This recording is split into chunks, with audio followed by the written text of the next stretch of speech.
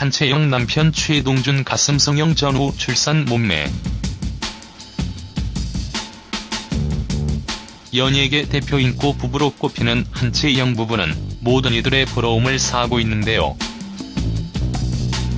한편 한채영은 최근 방송된 명단공예에서 월드클래스 남편을 만나 여왕처럼 사는 스타 4위에 오르기도 했습니다.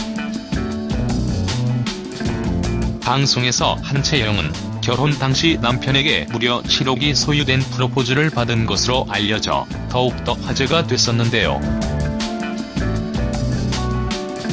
당시 한채영은 남편에게 5억 상당의 다이아몬드 반지와 유명 외제차를 선물로 받았다고 합니다. 한채영의 150평 신혼집은 시가 60, 70억대의 저택으로 알려져 있기도 하죠. 자연스레 그의 남편 최동준 씨에 대한 관심이 높아지는데요. 그는 4세 연상으로 UC 버클리에서 경영학을 전공한 재미교포 금융투자자로 알려져 있기도 합니다. 특히 한채영 남편은 과거 연예계에 몸담았을 만큼 훈훈한 외모를 자랑하고 있다는데요.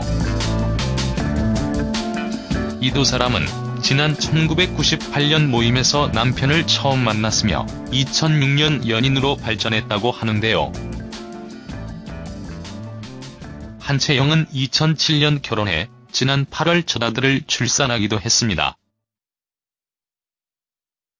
무엇보다 출산 후에도 완벽한 몸매를 자랑해 놀라움을 주고 있는데요.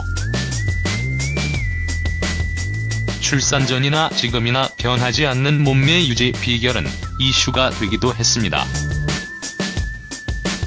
한편 인터넷 게시판에는 한채영의 예전 모습이 담긴 사진들이 있는데요. 눈을 살짝 손본 것 보인다는 의견들이 많은 편입니다.